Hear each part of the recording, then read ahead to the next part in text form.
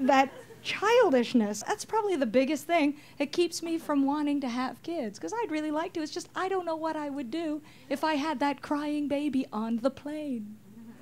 Because there's nothing worse than the crying baby, huh? Oh, even the mother has had it after a while. I've once had a five hour flight, coast to coast. Baby didn't shut up the whole time. The whole time, who knows what the problem was?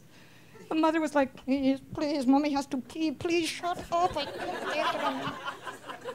You know, normally the flight attendants are so good about picking up the baby. Oh, maybe I should just carry it around for you. You know, I'll soothe the baby. They were so over this baby, just pushing the cart.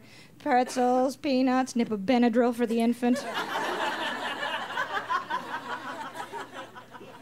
I'm telling you, I don't know what I'd do if I was in that situation. I couldn't stand it myself. You know. I'd be like, "Excuse me, is it too late to check the baby?" okay, she doesn't fit in the overhead. I, I can't take this anymore. The cockpit has a door. Can we just throw it back there for a few minutes, please?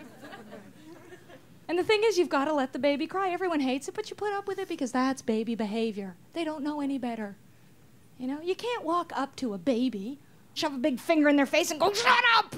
You shut up, you little bastard! My ears hurt too. Shut up!" No, I found you can't do that because then all of a sudden you're the one with a problem.